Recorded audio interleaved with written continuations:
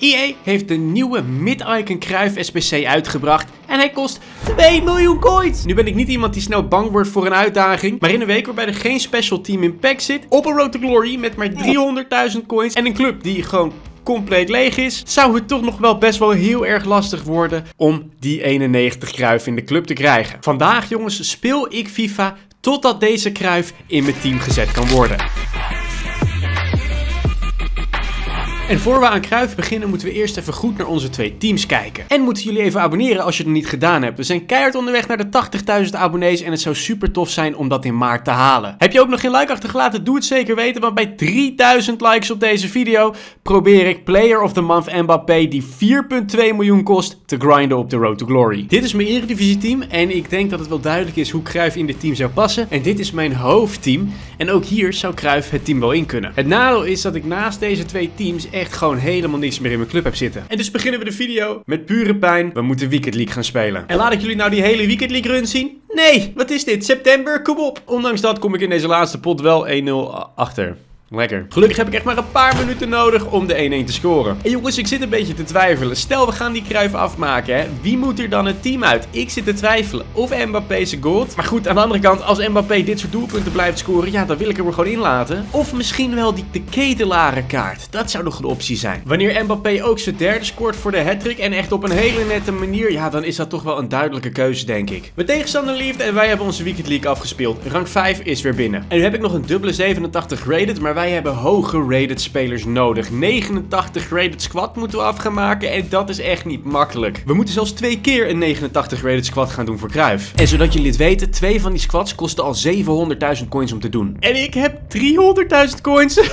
Help! Hoge rated spelers dus, dat is wat we nodig hebben. En we pakken een Berardi in onze eerste player pick. In de tweede krijgen we David. En dat is ook een 88. Heel erg lekker. En in de laatste krijgen wij de 87 rated ook Benda. En dat is ook gewoon een hele leuke kaart. En dan hebben we nog twee 84 plus player picks. En de 87 Verratti is helemaal niet verkeerd. Daarnaast had ik dankzij het doen van de Weekend League de Super Lone Chase Objective afgemaakt. En krijgen we ook nog een 83 plus keer 5 pack. En dat kunnen we echt heel erg goed gebruiken. En vanwege onze dubbele Fabinho dacht ik, weet je wat, we gaan gewoon die eerste 89 rated squad afmaken. En het enige wat ik daarvoor hoefde te doen, was een Kimmich kopen voor 40.000 coins. En mijn 91 rated Kroos inleveren. Het spijt me, schatje. Maar weet je wat, voor 91 kruif gaan we het gewoon doen. De eerste squad is af en dat betekent dat we niet meer terug kunnen. We jieten Fabinho weer de club in.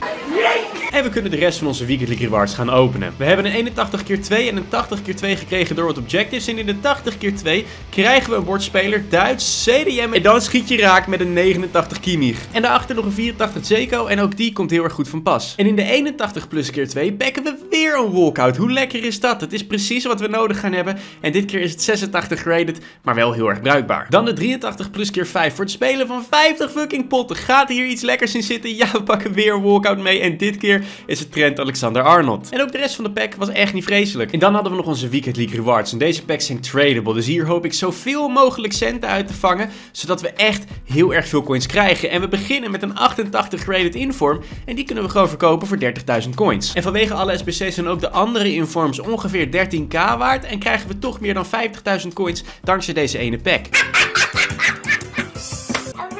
Lekkere centen dus, maar in onze 50k pack hebben we dat geluk niet. En dan de ultimate pack. De pack waar het in moet gaan gebeuren. Ik heb centen nodig, anders gaan we die kruif nooit afmaken. We pakken een inform walkout die Engels is rechtsback. Dat is een 87 rated. Dat gaat ons in ieder geval lekker wat centen geven. En achter die kaart zat nog een 87 en een 88 rated walkout. We hebben dikke centen gepakt. Oh, een leuke verrassing. Er zat nog een 86 rated walkout in de pack.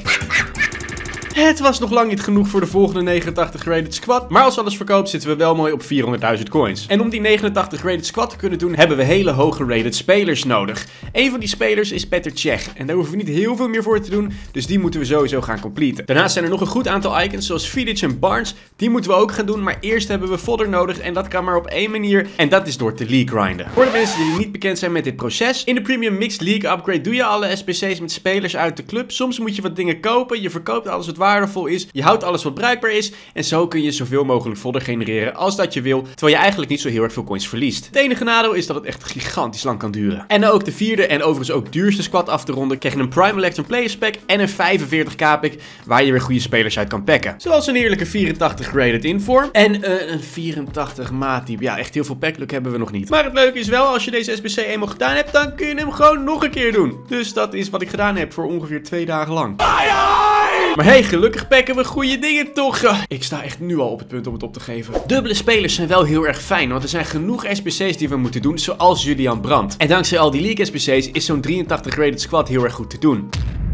Nou, lekker dan. En ik besluit nog heel even te wachten met de 82 rated squad tot ik weer wat meer dubbele spelers heb. En met alle spelers die ik niet voor de League SPC's gebruik, haal ik gewoon telkens 83 plus dubbel upgrades. Maar ook daarin wisten we niet boven een 85 rated Foden uit te komen. Dus ik besloot, weet je wat, het is wel even goed geweest. Ik ga hem 7 uur weer verder, wanneer er weer 82 plus keer 20 packs uitkomen. En jongens, die 82 keer 20 packs zijn echt top. Je moet een 83 en 84 rated squad inleveren. Je hebt een inform en twee 85's nodig en dat is het. Terwijl ik daarmee bezig was, dacht ik, weet je wat, ik ga nog even een preview pack doen. Misschien zit er iets goeds in. En ja hoor, we krijgen een bordspeler. Dat niet alleen, het is een 88 rated walkout. Dat is weer 30.000 coins in de club.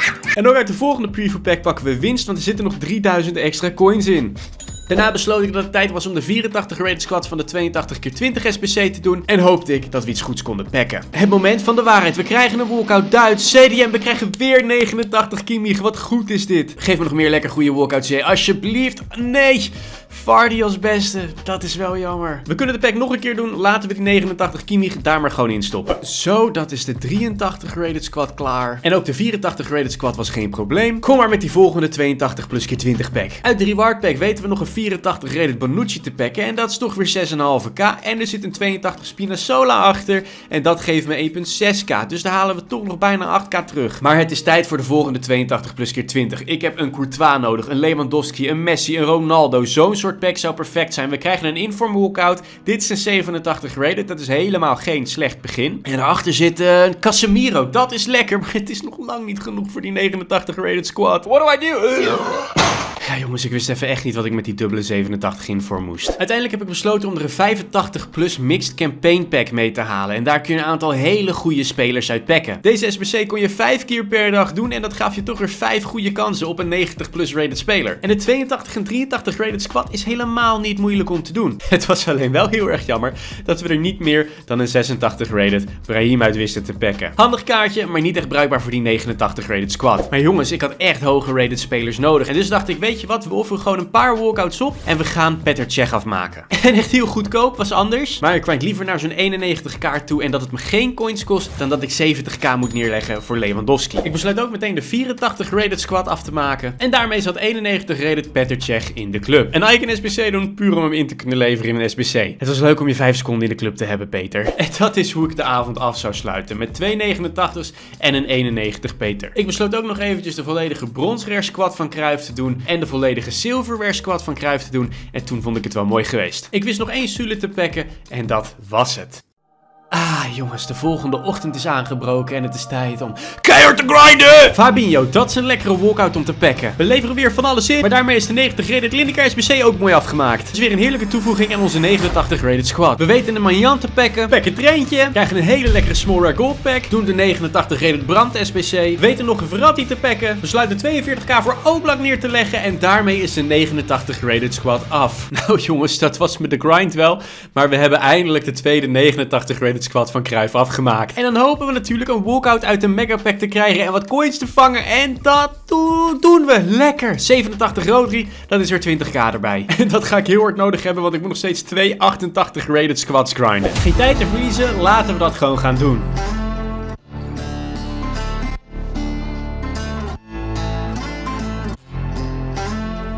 Ha, let's go. Wat een heerlijke pool is dit zeg.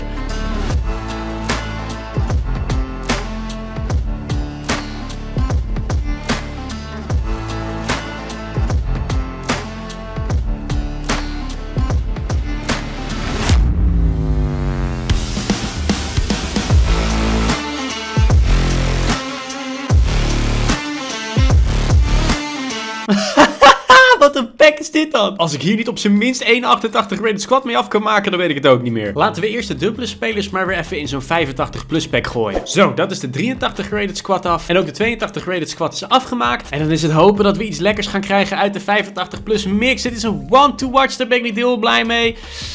Anthony, die is maar 86 graded, maar we kunnen hem vast gebruiken. Nou, dat was een flinke dag grinden, maar we hebben de 88 graded squad af kunnen maken. P3 leveren we erin. Leveren ook Berghuis gewoon in, want ik heb zijn 89 kaart toch in de club zitten. Dit mag lekker weg. En dan zijn we weer een stapje dichterbij Kruifse SBC. En al dat grinden kregen we een 82 graded als reward. Echt een feest. En we doen meteen de nieuwe FGS Challenge 10 en daarvoor krijgen we de allereerste FUT Birthday Token. Dat is een nieuwe promo die eraan komt en daar hebben we natuurlijk ook heel erg veel zin in. We doen voor de derde keer de 85 plus Mixed Pack en deze keer krijgen wij een 87 rated Sobel Sly. Niet goed, niet slecht, maar we kunnen het gebruiken in de volgende 88 rated squad die we moeten doen. En aangezien mijn coins langzaam op begonnen te gaan, dacht ik, weet je wat, we doen even de weekendly kwalificatie. We hebben nog 387k.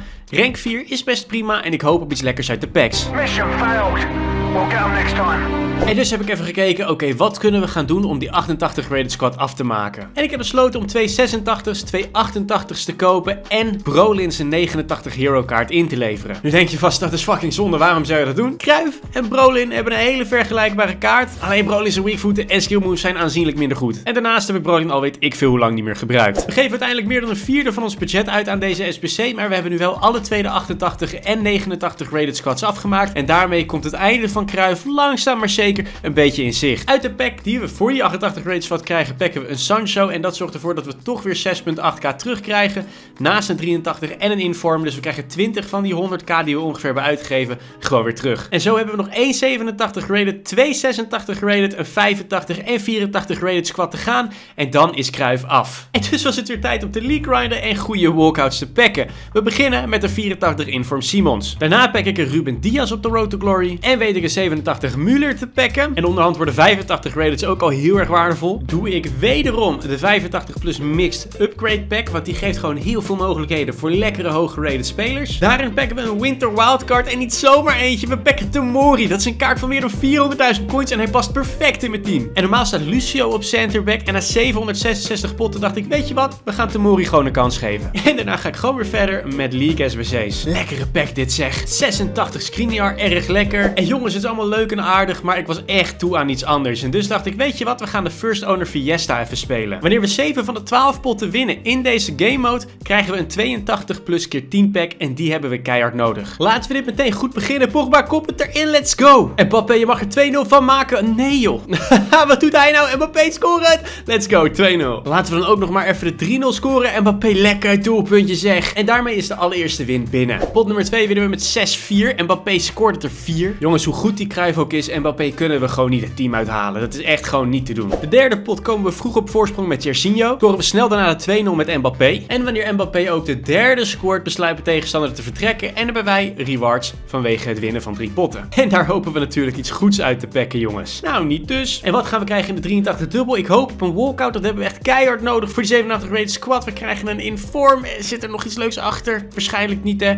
Nee. Na de teleurstelling van die twee packs kunnen we maar één ding doen. En dat is winnen. En blijven winnen. Totdat we die 7 wins hebben. En ik moet heel eerlijk zijn. Het ging echt hartstikke soepel. Ook de vorige pot winnen we met 3-0. En is mijn tegenstander weg. De zesde win pakken we ook heel snel door een 1-0 voorsprong. Waarna mijn tegenstander ook besluit te vertrekken. En ook de allerlaatste pot winnen we met 3-1.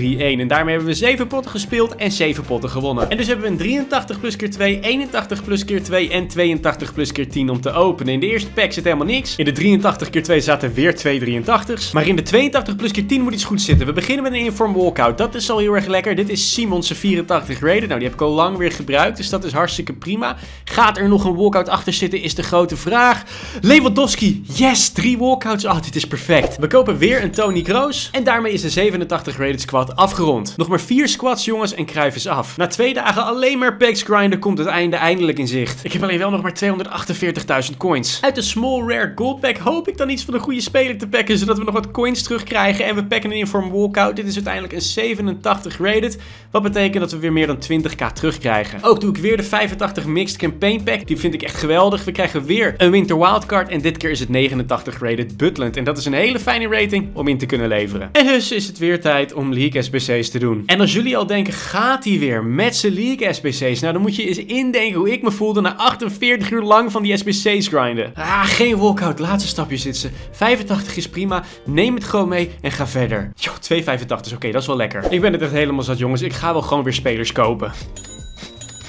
Nou, dat was weer bijna 70.000 coins, maar de 86 rated squad is af. Nou, weet ik veel hoeveel League SBC's doen we weer de 85 mixed upgrade. Dit keer zit er een 86 Perisic in. Ik weet nog een 85 rated Kostic te packen. Weet ook nog een 85 de Pai mee te snoepen. Pack ook nog een Schik 85 rated. En pack een 85 Foden. Waar komen al die 85's ineens vandaan? Een 87 rated Inform is wel heel erg lekker. En ik besluit, weet je wat, we kopen gewoon een 87 en 91 rated kaart. Ik heb geen geduld meer om Icon SBC's te grinden. Ik wil gewoon zo snel mogelijk die kruif in de club hebben. Dus we gooien er weer 80k tegenaan. Maar dan hebben we wel de volgende 86 rated squad af. En hoeven we alleen nog maar een 84 en 85 rated squad te doen. En dan zit kruif in de club. En dus ben ik op zoek gegaan naar de laatste hoge rated spelers om te packen. En ja jongens, ze komen allemaal nog steeds uit die League SBC's. Twee keer achter elkaar dezelfde inform packen is wel een beetje pijnlijk. Nou, dan kopen we even een Koman voor 16.000 coins. En een De Vrij voor ongeveer 6.500. En dan hebben we ook de 84 rated squad afgerond. En komen we weer heel dichtbij jongens. Het is nog maar één squad en we zijn er. Ik heb nog een paar League SBC's gedaan en daar kregen we een tradable 87 rated inform. En dat was heel erg fijn, want ik had onderhand nog maar 30.000 coins. Ik wist ook nog een 87 rated Aspas te pakken. Wist ook nog een 87 David de Gea mee te pakken. Besloot daarna dat het een goed idee was om al mijn spelers in de 83 dubbel upgrades te gooien. Ik wist er drie klaar te zetten en in de allereerste pakten we de laatste walkout die we nodig hadden om de squad af te ronden. Niemand minder dan 88 rated Keylor Navas helpt ons naar de Kruif SBC toe. We bouwen de laatste 85 rated squad hoeven alleen nog maar een FC Barcelona speler te kopen. Die 3000 coins hebben we gelukkig nog wel. We hebben nog 55k over. De allerlaatste squad is gewoon af. En daarmee jongens zit Cruijff officieel op de Road to Glory in de club. Objectief gezien misschien wel de beste Nederlandse voetballer aller tijden. En die moest en zou in de club komen. Een SPC van 2 miljoen coins gedaan met 300.000. We mogen ongelooflijk trots op onszelf zijn. En het is ons eindelijk gelukt. Cruijff is af. Hij gaat los. Ik ook, want ik ben eindelijk klaar. En het is tijd om hem in het team te zetten. Cruijff komt op de center forward spot te staan. De ketelaren vliegt eruit. En daar komt Mbappé op de plek. En op die manier is ons team echt prachtig. Ik wil jullie heel erg bedanken voor het kijken naar deze video. Er zit weer ongelooflijk veel tijd in. En mochten jullie nou willen dat ik die Player of the Month Mbappé ga grinden van 4,5 miljoen. Laat dan even een like achter en een leuke comment. Oh god, daar kijk ik niet naar uit.